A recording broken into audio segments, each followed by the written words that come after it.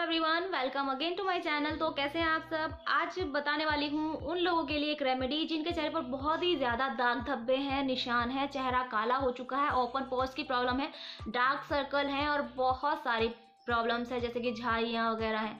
तो और वो दाग धब्बे उनके जा नहीं रहे हैं। पहले तो ये बता दूँ कि ज़्यादातर लोगों को, उन लोगों को ऐसा होता है जिनके चेहरे पर दाग धब्बे इतने निशान हो जाते हैं, जिनको पिंपल, एक्ने की प्रॉब्लम होती है या जल्दी जल्दी दाने निकलने लगते हैं चेहरे पर तो ये निशान जाना बहुत ज़्यादा मुश्किल हो जाता है, पिगमेंटेशन हो जाता है, टैनिंग हो जाती है तो एंड इन सब चीज़ों से चेहरा बिल्कुल ख़राब हो चुका होता है तो आपको घबराने की बिल्कुल भी ज़रूरत नहीं है। नेचर ने हमें इतनी सारी चीज़ें दी हैं जिससे हम अपनी हेयर की हेल्थ की एंड अपनी स्किन की प्रॉब्लम्स को दूर कर सकते हैं, ऐसी एक रेमेडी आज आप लोगों के लिए लाई हूँ। तो चलिए वीडियो को स्टार्ट करते हैं। और हाँ फ़र्स्ट टाइम अगर चैनल पर आए हैं वीडियो देख रहे हैं तो प्लीज़ सब्सक्राइब कर लीजिए ऐसी ही यूजफुल सी वीडियोज़ के लिए। और बेल आइकन को भी प्रेस कीजिएगा, जिससे जब भी वीडियो अपलोड करूँगी तो आपके पास नोटिफिकेशन सबसे पहले आ जाएगा। और वीडियो अच्छा लगेगा तो लाइक और शेयर भी कीजिएगा। तो सबसे पहले हमें क्या करना होगा? मैंने लिया है ये one spoon one tablespoon मैंने लेमन जूस लिया है, ऐसे जूस निकाल लिया है मैंने। लेमन में होता है विटामिन सी स्कॉर्बिक एसिड होता है। बहुत ज़्यादा एक ज़बरदस्त चीज़ होती है आपके स्किन के दाग धब्बों को रिमूव करने में। बिल्कुल एक मैजिक का काम करता है और लेमन दाग धब्बों को दूर करता है, ये आप भी जानते होंगे। स्किन को ब्लीच कर देता है स्किन को वाइटन बनाता है और टफ से टफ धब्बे भी ये दूर कर सकता है आपकी स्किन के। दूसरी चीज़ मैंने ली है आलू का जूस, ये भी एक चम्मच ले लूँगी। आलू में होता है विटामिन सी एंड इसके अंदर स्टार्च होता है। ये स्किन को ब्लीच कर देता है, आलू दाग धब्बों को बहुत जल्दी दूर कर देता है, लेकिन कुछ लोगों के जो स्किन पर जो मार्क्स होते हैं, इतने ज़्यादा टफ होते हैं, थोड़ा सा टाइम लग सकता है, लेकिन इसका रिज़ल्ट इन दोनों चीज़ों का रिज़ल्ट हंड्रेड परसेंट होता है तो बिल्कुल भी घबराए नहीं। अगर एक दिन, दो दिन आपको लगता है कि नहीं कुछ हो रहा है, होगा ज़रूर, इस रेमेडी को छोड़ना नहीं है रेगुलर यूज़ करना है।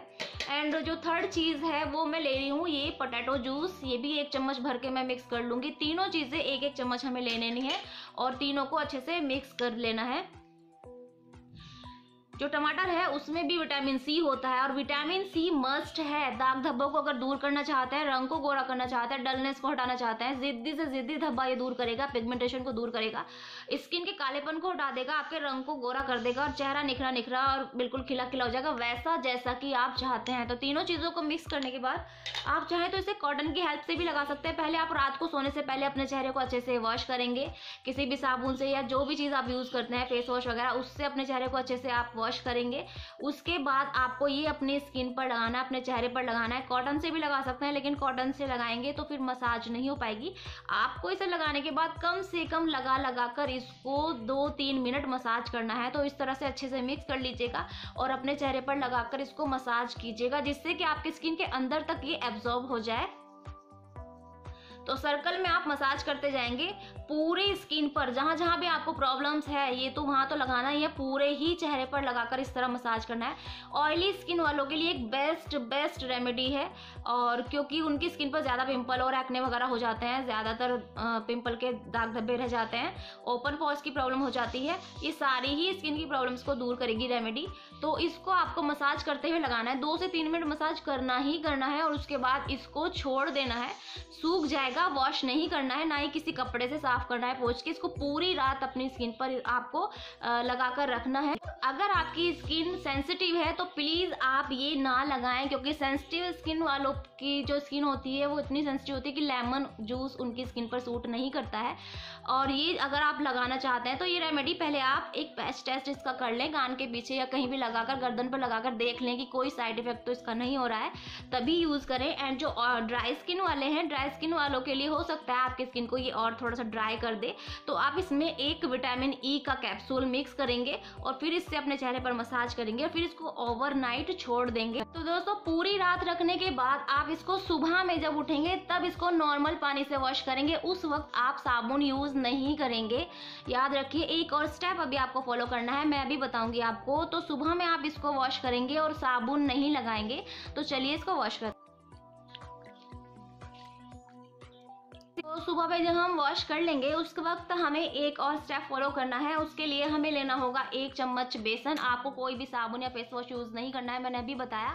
जब तक आप ये रेमेडी यूज़ करेंगे, इसको लगाने से पहले रात को ही आप फेस वॉश यूज़ करेंगे या साबुन यूज़ करेंगे। दिन में आप साबुन यूज़ नहीं करेंगे। सुबह में आप थोड़ा सा बेसन लेंगे और उसमें मिक्स करेंगे आप थोड़ा सा दूध। ये आप हाथ पर लेकर कर सकते हैं, क्योंकि आपको डेली करना है। ये चीज़ें जो मैं आपको बता रही हूँ, दोनों प्रोसेस ये आपको डेली फॉलो करने हैं। एक भी दिन स्किप नहीं होना चाहिए। चेहरा तभी आपका साफ़ सुथरा होगा, तभी आपके दाग धब्बे रिमूव होंगे। अगर चेहरे को साफ़ सुथरा बनाना चाहते हैं धब्बों को दूर करना चाहते हैं तो ये आपको डेली यूज़ करना ही होगा। एक हफ़्ता आप इसको डेली यूज़ कर लीजिए, जिस तरह से बता रही हूँ, वैसे ही आपके चेहरे पर फ़र्क आप खुद ही देख लेंगे। तो अपने चेहरे पर लगाएँगे और इससे आप स्क्रब करते हुए अपने चेहरे पर पाँच मिनट तक मसाज करेंगे। ठीक है? इससे आपकी स्किन की जो डेड सेल है, वो भी हट जाएगी क्योंकि स्क्रबिंग भी हो जाएगी आपके चेहरे पर और दूध में होता है लैक्टिक एसिड जो रंग को निखारता है। तो पूरी रात जो हमने चीज़ें लगाई हैं, वो तो आपके रंग को निखारेंगी दाग धब्बों को दूर करेंगी। दूध भी आपके दाग धब्बों को दूर करता है और बेसन भी आपके रंग को निखार देता है। तो पाँच मिनट तक आप इसे मसाज करते हुए इस तरह से सर्कल में अपने पूरे चेहरे पर हल्के हाथ से रब करते रहेंगे। पाँच मिनट के बाद आप इसको छोड़ देंगे, पाँच से दस मिनट के लिए या पाँच मिनट के लिए भी छोड़ देंगे, अगर टाइम नहीं नहीं है। उसके बाद आप इसको नॉर्मल वाटर से वॉश करेंगे। और एक बात और बताऊँ आपको, ये मैं भी यूज़ करती हूँ क्योंकि मैं मार्केट वाला फेस वॉश यूज़ नहीं करती हूँ तो मैं बेसन एंड मिल्क से अपना फेस क्लीन करती हूँ। सुबह में जब मैं ब्रश करती हूँ तो उससे पहले मैं इसको लगा लेती हूँ, हाथ पर लेकर ही थोड़ा सा बेसन और दूध मिक्स करके इस तरह से लगा लेती हूँ।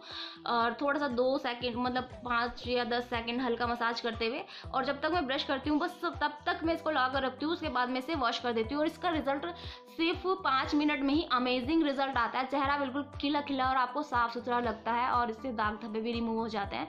तो आप